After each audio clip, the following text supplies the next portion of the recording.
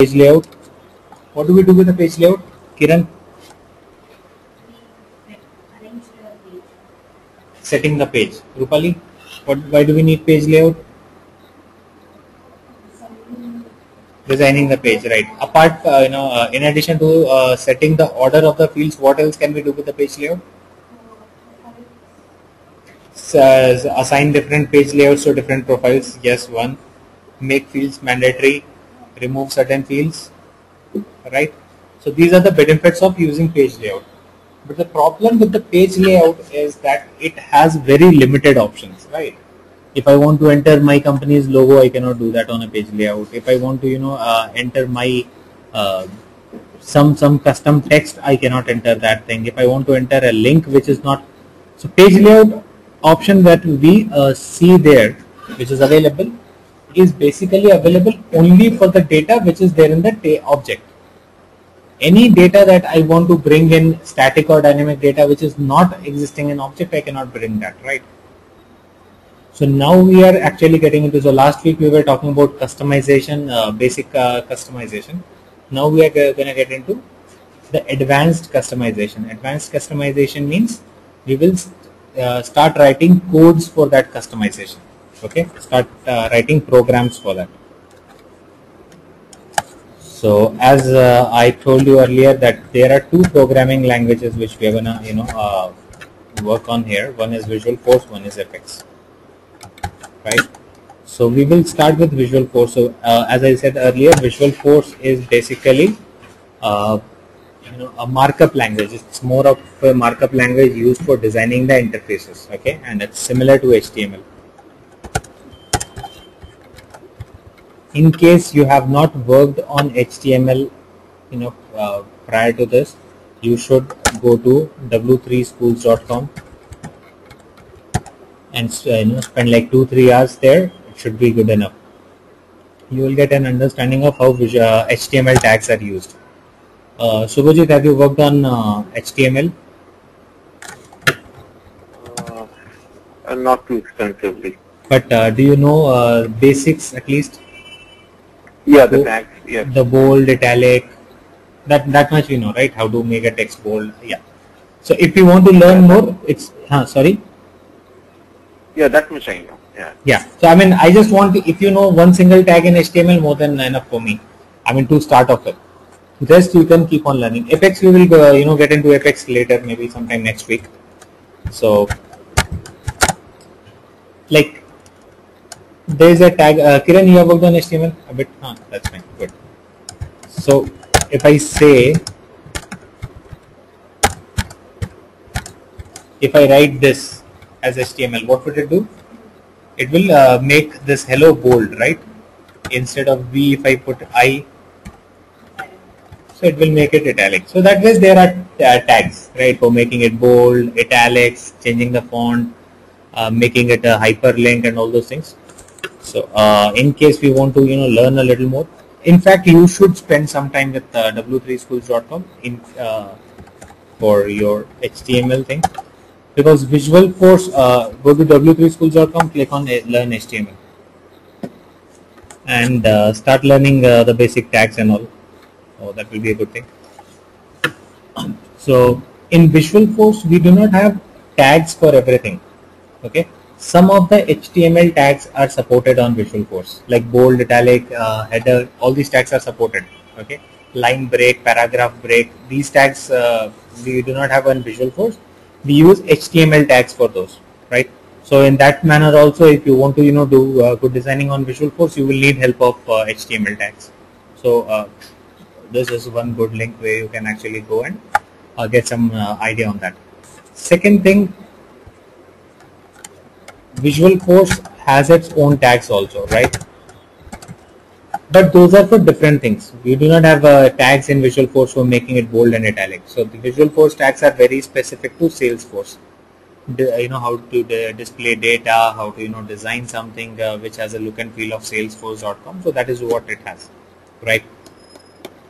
So both the tags, I mean uh, Visualforce tags as well as HTML tags, we will use in our Visual Force pages. Okay.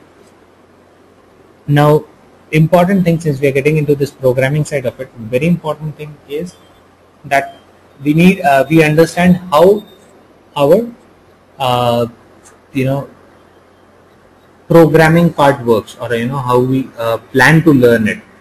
There are two approaches of learning any programming language or any language rather. Not just programming any language in the world one is that you start you know uh, learning it from the basics spend too much of time in the basics and all and then uh, you know uh, that is how we have learned things in college and all. You might have done you know programming c c++ programming in your college days but you never liked it and you never uh, you do not even remember what we did right? The reason was that uh, that we never did it uh, you know we never tried to understand what is the objective of doing it or what can we achieve doing that right now in the uh, in our sessions we are not going to do it that way okay? So we will not uh, you know start from abcd and all. What we'll do we will look into the objective and then we will try to learn the uh, you know language right? So for example if you are forced to learn a language because you are going to france for a week and uh, you want to learn a few words or a few sentences that will develop interest and that could also help you learn it quickly but if I start, you know, from ABCD and all, you will take three years to learn French, and uh, by that time you might lose complete interest in that. So that is uh, the thing. We're gonna learn it through the, you know, understanding objective uh, point of view, right? So first of all, understand why we need it, what exactly we need out of that language, and then try to, you know, uh, do the coding. That is the best way of learning it. Okay. So we'll do the Visualforce thing uh, in the same way. I'll not start talking about each and every tag rather we will uh, look into the requirement and that way we will fit the tags there. And gradually we will start understanding everything right? So uh, first thing that we'll do is as I said Visualforce is used for designing custom pages. So custom pages are definitely for you know use uh, you know uh, for uh, the requirements which cannot be met through our page layout option Page layout is a declarative method. It has basic options, right? But in case you have requirement which are uh, which cannot be you know satisfied with those options, then you will need to get into Visualforce. Okay. So first of all, let's learn. I mean, uh, let's not uh, go into uh, too much of details. Uh, gradually, we'll talk about uh, more. we'll talk more about Visualforce. First of all, let us learn how to create a Visualforce page. So it's a separate page, right? Different page. So how do you create it? It's very simple to create a Visualforce page. You have two ways of creating a Visualforce page. One you can go to setup. Then uh, under setup you can go to develop. Under develop you go to pages. So this is the first way of creating a page. Go to setup develop pages and then click on new. So this is one way of creating a new Visualforce page setup develop pages and new Visualforce pages new this is one way of creating it okay? And then you have the option of putting a label and a name and a description of the page and then write your code here right?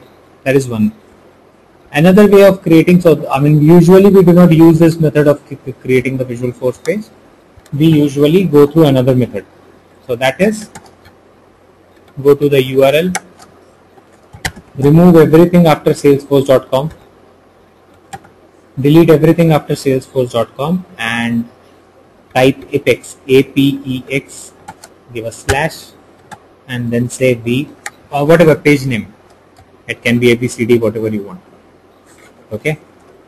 Go to the url remove everything after salesforce.com then type uh, put a slash apex slash and then put the, put the page name. So it can be whatever you want to put. Only thing you need to keep in mind is this page name cannot have a special character and it cannot have a space. So that is what we have to keep in mind. The rest whatever you want you can put as a page name. So i'm putting uh, this as a page name v1 okay and press enter.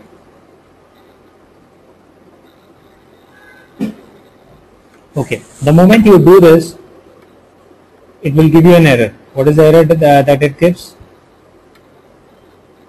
Page does not exist. So as of now, we have not created the page and I was trying to open it from here. That is the reason why it gives error. Okay.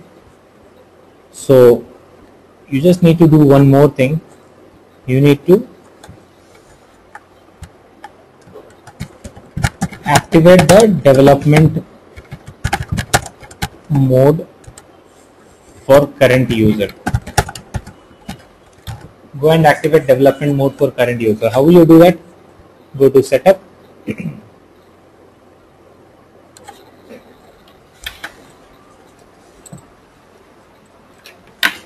okay you don't need to go to setup you can actually go to your my settings click on your name and uh, go to my settings and there uh, click on personal and go to advanced user details.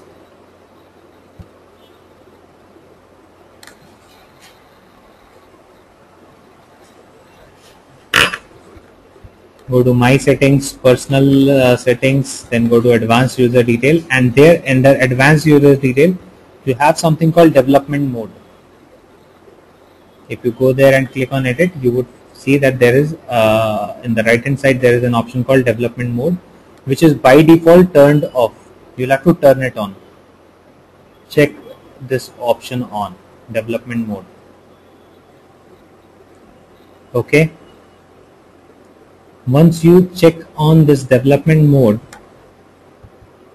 you can just go and click on save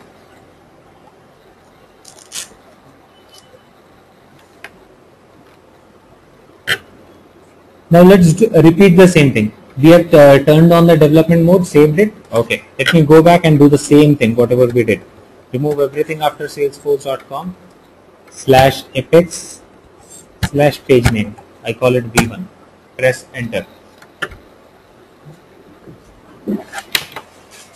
We get the error now again. Again it gives the error. But this time the error is a little different. What is the difference in the last error and this error?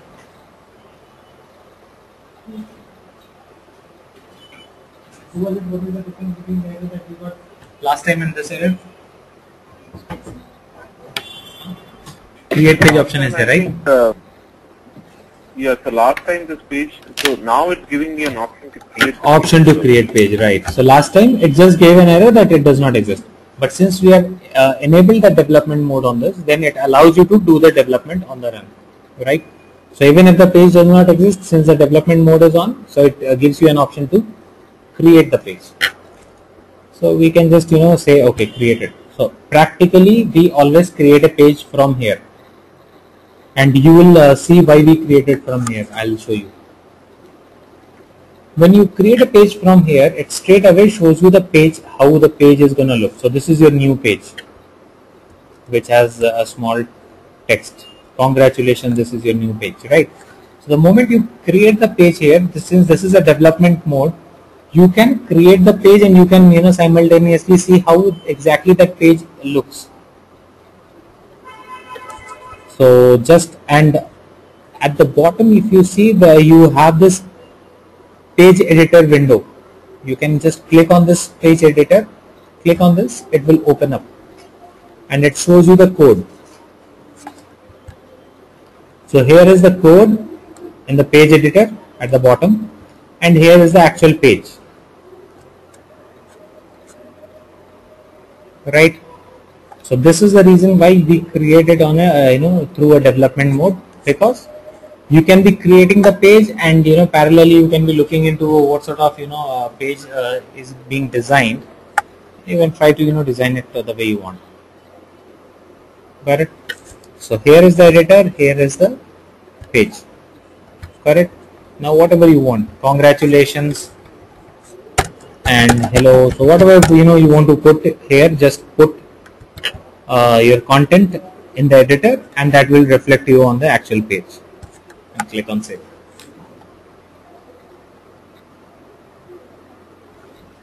you want to do a line break see h1 is a uh, is an html tag this is a comment i'm removing the comment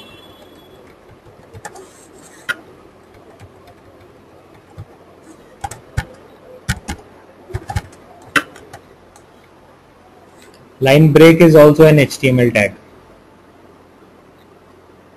Right? Now let's look into the code. The basic code that we have. We have just typed congratulations.